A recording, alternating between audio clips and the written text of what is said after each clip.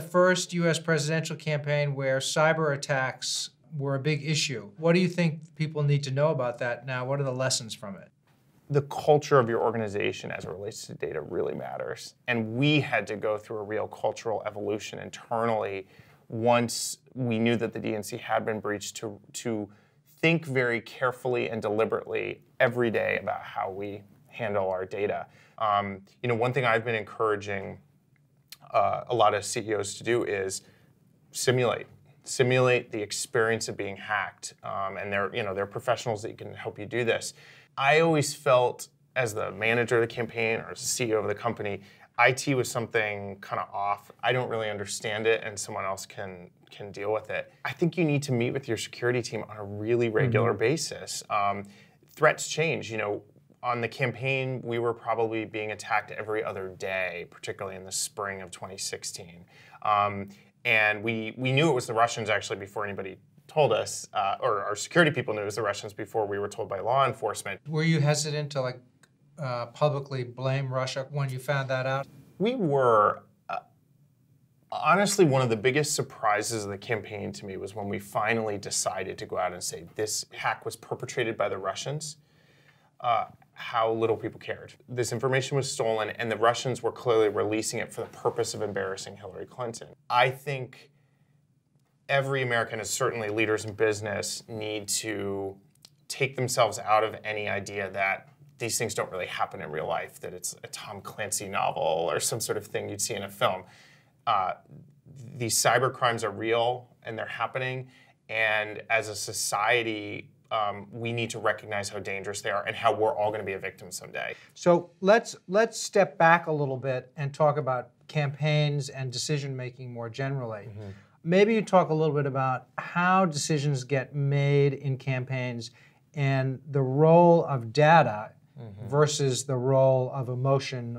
A lot of the data was wrong uh, in this campaign in, in, in, in the political space and the media space. I even I know some private uh, business folks were doing polls. Uh, and, and basically everybody got it wrong. So the question now is, okay, what do we do about this? Um, the first thing is, I think we need to go back to some of these research methods and spend a year or two just trying to understand where we're creating bias in the process of doing this research. Or I think in some instances, the data is so precise and our desire to be efficient is so great that we actually work our way in to very tight scenarios that can be easily disrupted. So, for example, we by and large had a four point lead throughout this campaign. And it was very similar to, to President Obama's campaign, actually. They had probably anywhere from a one to three point lead uh, throughout their 2012 race. So, this looked very normal to me. But what was so different from 2012 was there was an overwhelming gale force desire for change. Mm-hmm. There was incredible unrest in the electorate. And then we saw certain moments in this campaign when there could be big swings uh, uh, in in the election result, for lack of a better term. So we were looking at a four-point spread. We, I think, needed an eight-point margin of error. And that's the thing I would go back and look at differently. And so I think anybody using data needs to make sure they're not engineering themselves or making their organization so efficient that they're not able to sustain some sort of disruption. And that's where the leader of an organization is ultimately responsible for making those judgments about this is what we're going to listen to, this is what we're not going to listen to. And these are the things I think we need to look for that maybe aren't apparent on the radar screen right now. So when you look back at the election, right, every election is remembered for something, for one central thing. Mm-hmm. Do you, how do you think, what is the lesson of the 2016 election?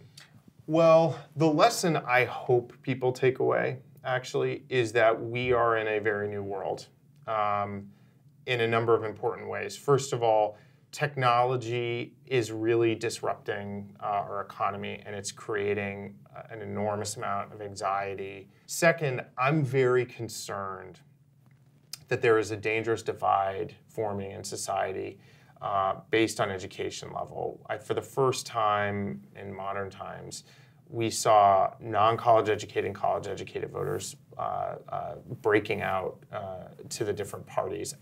I don't think that's good for society. And then the last piece is I think uh, this is the first time in a long time, although I'm sure it happened a bunch in the past, that a foreign country was a major factor in the election. We cannot allow foreign intelligence services to intercede the way the Russians did.